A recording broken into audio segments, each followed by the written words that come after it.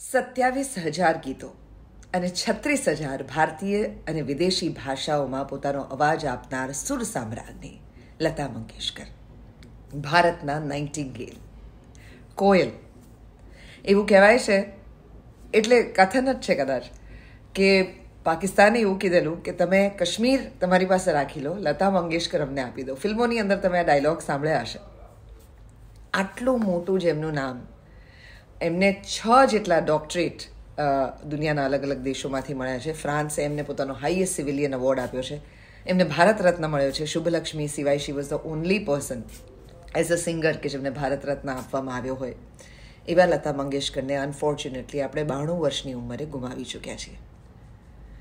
તમને ખબર છે નાઇન્ટીન સિક્સટી ટુમાં જ કદાચ આપણે લતા મંગેશકરને ગુમાવી દીધા હોત? એમને ઝેર આપવામાં આવતું હતું. સ્લો પોઈઝન એમની તબિયત એટલી બધી ખરાબ થઈ ગઈ કે એમને હોસ્પિટલાઇઝ કરવા પડ્યા. ત્રણ વર્ષ સુધી એ ખૂબ માંદા રહ્યા અને ખબર પડી કે એમને સ્લો પોઈઝન આપવામાં આવે છે.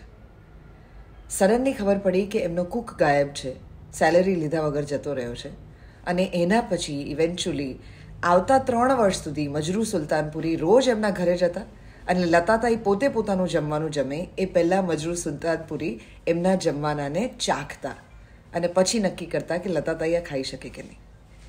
લતાતાઈ માનતા કે એમનો અવાજ સૌથી વધારે સાયરા બાનુને મેચ કરે છે. અને એમના સૌથી વધારે ગમતા મ્યુઝિક ડિરેક્ટર મદન મોહન હતા. એ લોકોનો સંબંધ મ્યુઝિક ડિરેક્ટર અને સિંગરથી પણ વધારે એક ભાઈ બહેન જેવો હતો, એક કુટુંબ જેવો હતો. આ કેટલી ગજબ વાત છે કે પાંચ વર્ષની ઉંમરે એમને એમના ફાધરે એવી રીતે ડિસ્કવર કર્યા કે એમના ફાધર એમના સ્ટુડન્ટને ટ્રેન કરી રહ્યા હતા. એમના સ્ટુડન્ટને પૂરિયા ધનશ્રી એ રાગ એ શીખવાડી રહ્યા હતા અને પોતે કંઈ કામ માટે ગયા તો એમણે પોતાના સ્ટુડન્ટને કીધેલું, શાગિર્દને કીધેલું કે તમે આ રાગ પ્રેક્ટિસ કરો. એમાં એ કોઈક જગ્યાએ બેસુરા થયા ને તો લતા જે પાંચ વર્ષના હતા અને બાજુમાં રમી રહ્યા હતા, એમણે એમના જે એના ફાધરના જે શાગિર્દ છે એમને કીધું કે તમે ખોટી નોટ ગાઈ રહ્યા છો, આમ નહીં ને આમ ગાવું જોઈએ. ત્યારે એના ફાધરને રિયલાઇઝ થયું કે આ તો આપણી દીકરીની અંદર જ શાગિર્દ છે. આપણે બહારથી શાગિર્દ લાવવાની ક્યાં જરૂર છે? એમનું સૌથી પહેલું ડેબ્યુ તેર વર્ષની ઉંમરે થયેલું. તેર વર્ષની ઉંમરે ડેબ્યુ. એન્ડ ઇમેજિન એમણે સાથે સાથે નાઇન્ટીન ફોર્ટી ટુમાં આઈ થિંક એક્ટિંગનો ડેબ્યુ પણ કરેલો. I don't know if you know this, પણ બેતાલીસથી અડતાલીસની વચ્ચે એમણે આઠ અલગ અલગ ફિલ્મોની અંદર કામ કર્યું છે. એમની એક્ટિંગ કરિયર ભલે ના ચાલ્યું હોય, પણ સિંગિંગ કરિયરે તો આખા ભારતને હલાવીને રાખી દીધું. એવા લતા મંગેશકરની આજે આપણે વાત કરી રહ્યા છીએ. લતાતાઈએ પોતાની સ્કૂલ છોડી દીધી. ઘણા બધા લોકો અલગ અલગ વાર્તાઓ એના વિશે કરે છે. એક કહે છે કે એ જે દિવસે સ્કૂલે ગયા, એ દિવસે ત્યાં ગાતા હતા અને પોતાની જે બધી મિત્રો હતી એમને પણ ગાવાનું શીખવાડતા હતા. તો શિક્ષક વઢ્યા અને લતાતાઈને એટલો બધો ગુસ્સો આવ્યો દેટ શી ડિસાઇડેડ કે મારે આ સ્કૂલમાં નથી આવવું.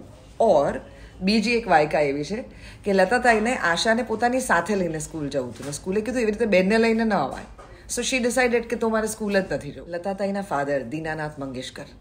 એ પોતે ક્લાસિકલ સિંગર હતા. અને એક નાટક કંપની ચલાવતા. આ નાટક કંપનીમાં એકચ્યુઅલી લતાતાઈનું નામ બદલવામાં આવ્યું. એમનું ઓરિજિનલ નામ હેમા હતું. પણ આ લોકો એક નાટક ભજવતા હતા અને એ નાટકની અંદર ભાવભવન નામનું નાટક હતું અને એની અંદર કેરેક્ટરનું નામ હતું લતિકા. અને એ પછી ઘરમાં બધાને એટલું બધું ગમી ગયું કે એને કારણે થઈને લતાતાઈનું નામ બદલવામાં આવ્યું અને લતિકા રાખવામાં આવ્યું. એમનું જ્યારે ડેબ્યુ થયું ત્યારે લોકો કહેતા હતા કે એમનો અવાજ ખૂબ પાતળો છે, એટલે આ અવાજ તો નહીં ચાલે.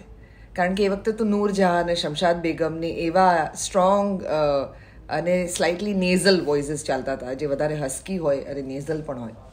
એવે વખતે લતાતાઈનો અવાજ આવ્યો અને પહેલાં તો મરાઠી ગીતથી એમણે શરૂઆત કરી હતી, પણ જે આમ રાતો રાત એ જે સેન્સેશનલ બન્યા, એ હતું આએગા આને વાલા આએગા now this song is still haunting for so many people જ્યારે તમે સાંભળો તો તમને એમ થાય કે શું અવાજ છે?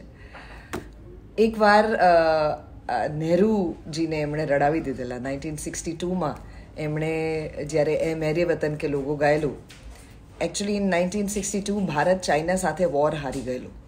અને એ વખતે લતા તાઈનો આ અવાજ સાંભળીને પંડિત નહેરુની આંખોમાં આંસુ આવી ગયેલા. લતાતાઈ માટે ક્રિકેટનો શોખ એટલે એટલો બધો જબરદસ્ત શોખ કે લોર્ડ્સની અંદર એમના માટે ખાસ એક જગ્યા પર્મનન્ટલી બુકડ રાખવામાં આવે કે ત્યાં એ જઈને બેસે અને ક્રિકેટ નિહાળે. જેમને ગ્લોબલ સ્ટાર ગણવામાં આવે છે because in nineteen seventy four she was the first Indian musician or Indian artist per se કે જેમણે રોયલ એલ્બર્ટ હોલની અંદર પરફોર્મ કરેલું. એવા લતા મંગેશકર કે જેણે પ્યાર કિયા તો ડરના ક્યાંથી લઈને દિલ તો પાગલ હૈ અને લુકા છુપી સુધીના ગીતો આપણા માટે ગાયા છે.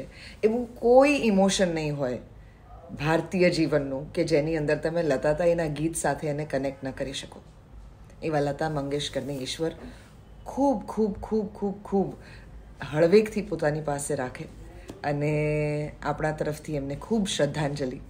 અને તમે આઈ વુડ રિક્વેસ્ટ કે if you are a huge Lata fan please write the amazing songs that you like of Lata Mangeshkar in the comment section I am sure કે બીજા કેટલા બધા લોકોને એને કારણે આજે ઘણા બધા ગીતો યાદ આવશે લતા તાઈના બાણું વર્ષનું એક આટલું બધું ગર્વીય જીવન જે વ્યક્તિ જીવીને ગઈ હોય એવી વ્યક્તિનું તો કામ એમની આખી પેઢી અને એમના પછીની પેઢીને એમના પછીની પેઢીને એમના પછીની પેઢીમાં પણ જીવંત રહેવાનું છે એટલે આટલું લાંબુ અને સરસ આયુષ્ય જે જીવ્યા છે એમના માટે, આપણે માત્ર ઈશ્વરને એમના આત્મા માટે પ્રાર્થના કરીએ અને હેપીલી એમને યાદ કરીએ.